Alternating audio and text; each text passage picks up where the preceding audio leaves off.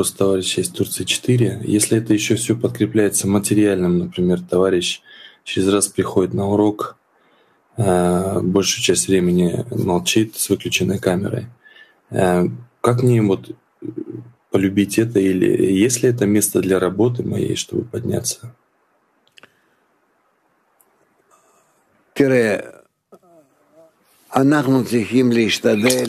Смотри, мы должны стараться, насколько это возможно, терпеть. Говорится так, если он не портит, тогда может оставаться. Но если он буквально э, портит связи между нами, тогда надо его удалить. Это, по сути, правило. Попробуйте все-таки терпеливо показывать примеры, как вы относитесь друг к другу, и увидите, насколько и он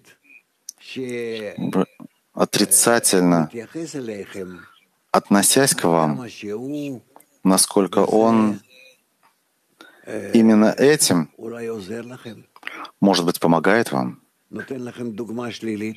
показывает вам отрицательный пример. А вы, соответственно, можете еще и еще быть более слитыми друг с другом и в обращении к Творцу.